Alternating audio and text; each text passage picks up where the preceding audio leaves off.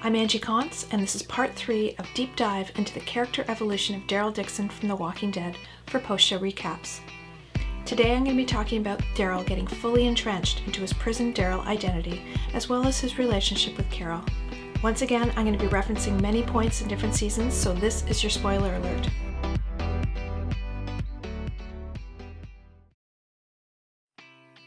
So now that Prison Daryl is fully formed, all he needs is a prison. There it is. Do you know what I wasn't expecting? Prison Daryl wears a poncho. Giddy up. Prison Daryl is steady, strong, and dependable. He works well with others. He feeds babies and blows up tanks. He's fine working within a dictatorship or a democracy. Prison Daryl is all good. By season 4, Daryl is a bona fide celebrity. No wonder he has his own action figure. With his button up shirt and nerd glasses, Patrick is like a bite sized version of Dale. In the old world, Patrick would have a one way ticket to Harvard, but in this world, he's useless, and he's in awe of Survivor Daryl. So that's just about the grossest thing you could do before shaking someone's hand. But look at baby Dale. He can't get enough. No wonder he got sick and died. Boy, intellectuals sure are the red shirts of the new world. In fact, Daryl's character is so transformed at this point, the only thing about him that hasn't changed is that red rag that's managed to stay stuffed into the ass of his pants throughout an entire zombie apocalypse. But he hasn't left Wild Thing Daryl behind forever. Norman Reedus uses his voice to express which Daryl Dixon persona we're dealing with Wild Thing Daryl or Prison Daryl. Here's the difference. And you left him there? I hear you, I'm taking a piss. No, no way. You wanna hold on to your teeth? No him, no me. Stupid bitch. It was Michonne's. Like everything was a big game. Your family, too. So it's clear at this point that Prison Daryl is pretty badass. But let's take some time to see how he got to this point. The amazing opening scene for season 3 shows the group working together in complete unison. The entire scene has no dialogue at all, as if they are a flock of birds or a herd of prey moving as a single unit. When clearing the prison, it's clear that Daryl is Rick's lieutenant. Light it up! Daryl has the other set of keys, not Hershel, not Glenn, not Maggie. I'll take the perch. And when Tomas makes himself known as a psychotic killer, Rick and Daryl are on exactly the same page in about an instant. You see the look on his face? He makes one move. Just give me a signal. The Killer Within is a critical episode in season 3. The theme of this episode is looking beyond appearances to who people are within. At the prison, before deciding what to do with the remaining prisoners, Rick looks to Daryl. Daryl can relate to these guys. That doesn't mean that he sides with them. I get guys like this. Hell, I grew up with them. They're degenerates, but they ain't psychos. I could have been in there with them just as easy as I'm out here with you guys. So you're with me? Hell no. Let them take their chances out on the road, just like we did. He is not that guy anymore. He's the second in command. The Walking Dead uses the symbol of a deer to represent the innocence of the old world. In Daryl's first episode, the deer he was tracking to offer the group is fouled by walkers. Even his gritty old world behaviors are not safe from walkers. Next, Carl has a beautiful moment of connection with the deer while looking for Sophia. They lock eyes, both pure and unspoiled, kindred spirits in a world gone mad. They are both cut to the ground by a single bullet. Such innocence can't exist in this world, and we see Carl completely transform on the farm from an optimistic young boy to a hardened young man. In season four's The Grove, we see Carol and Tyrese living in a dreamlike fantasy on a pecan farm with Lizzie and Mika. They are living an illusion on this farm, and it's only a matter of time before the illusion is shattered. Their whole storyline is very clearly referencing of Mice and Men, where George and Lennie are dreaming of living on a farm one day. This dream is shattered when the simple minded Lennie accidentally kills a woman. George knows that Lennie can't be around people and that he'll die at the hands of a lynch mob. George tells him to look at the river while he puts a bullet in the back of his head. On their dream farm, Carol and Tyrese see a deer. This represents the illusion of happiness and family being attainable in the new world. And finally, in this episode in season 3, when we lose Lori, Andrew the prisoner uses parts of a slaughtered deer to lure walkers into the prison to destroy the group.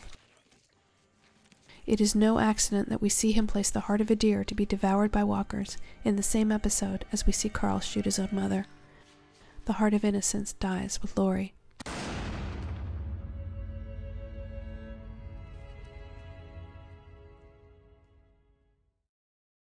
So, what does this have to do with Daryl? We see in this episode a connections being made between Carl's act and Daryl's past. Unlike Carl, Daryl's innocence was killed long ago. The old world did that for him, which is why he functions so well now. Through Carl, we can see Daryl's own hardening as a child. Daryl tells Carl how his mom burned herself alive while drunk. Yeah, she's just gone. Erased. This is exactly what he says about Beth later. Merle left the rooftop. Carol, too, has disappeared on him. The people he loves keeps getting erased from his life. Daryl finds Carol's knife, and he sits in the prison, preparing himself to find her dead, or worse, a walker. You can see the emotion here, but what is it, and where did it come from?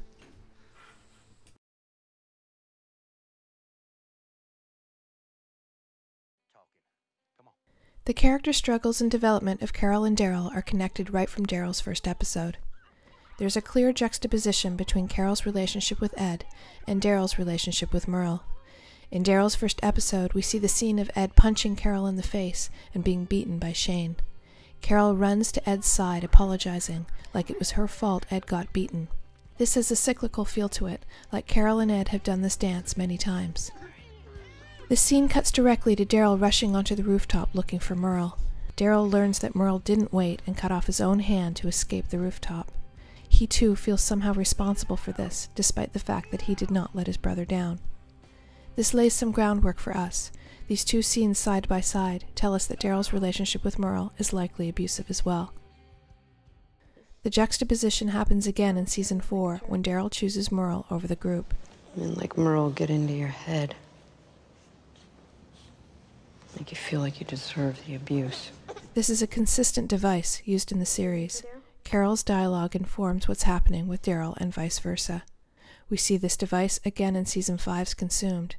Daryl appears to be behaving out of character in his reaction to Noah, but when the scenes keep cutting back to flashbacks of Carol freeing the group from Terminus, we realize that his actions are being used to narrate the mental struggle going on with Carol.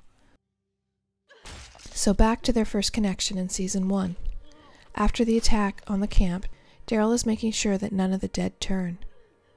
And when he gets to Ed, Carol reaches for the axe. Carol's anger, pain, and suffering under his hand all come through as she strikes at him again and again. Here, she's finally able to strike back at Ed for all the victimization she endured from him. She's crying for what he did and what she lost. In season 3, when Daryl discovers that Merle has turned into a walker, he has a very similar reaction to his abusive brother. He pushes him away like a little kid being bullied by an older brother. He cries. Then he stabs Merle in the face, again and again, devastated that Merle has abandoned him yet again, and angry that he was never the brother Daryl needed him to be. The connection between Carol's relationship to Ed and Daryl's relationship to Merle is the foundation of their bond to each other. They come from a similar background and are fighting similar demons. This is why it's Carol who most consistently shows affection to Daryl. She understands him, where he comes from, and what he needs. She sees him for who he is and what he's capable of. Carol's consistent faith and belief in Daryl is fundamental in convincing the group of his worth. You don't need to worry. She's with Daryl. If something happens, he can protect her. He gives Carol the Cherokee rose, the only expression of love he has offered the group at this point. Carol feels safe with Daryl. She sees his strength and his heart. Like her, she knows the only thing his life is missing is love. She knows that expressions of affection scare Daryl, but she can't let him believe that he's alone. Can't lose you, too. Carol represents unconditional love. This is why he is so hurt when she gives up on looking for Sophia. If her love has limits, does that mean that Daryl can trust it? I'm not gonna let you pull away. You've earned your place. Perhaps because of her relationship with abusive men, Carol doesn't falter when Daryl lashes out at her. After the loss of Sophia, she stands before him, an unmovable force. She's telling him that he has no choice. He is stuck with her, no matter how much he yells, no matter how much he tries to hurt her. The first night in the prison, they are hanging back from the group. Their connection is undeniable. They both feel like outsiders. The song Beth and Maggie are singing is Parting Glass, a traditional Irish folk song about parting ways, often sung before leaving for war. It's about reflecting on a life well lived, of saying goodbye to friends, family, and lovers, and accepting your fate, no matter what it is, with grace. So here Daryl sits outside the locker, preparing himself to face the fact that Carol is dead. He stabs the ground with Carol's own knife, like a little kid kicking the dirt. He is summoning up the courage to face something ugly. He paces again, the trapped animal ready to fight its way out of a corner. When he finds her, he is awash in relief. Finally, he gets to keep something that he loves. So I hope you like the deep dive into the character evolution of Daryl Dixon. Be sure to watch part 4 where I talk about his relationship with Merle, the code he needs to live by, and the relevance of the novel Tom Sawyer. Don't forget to subscribe and follow me on Twitter, and be sure to let me know your questions and comments. Until next time, don't look back.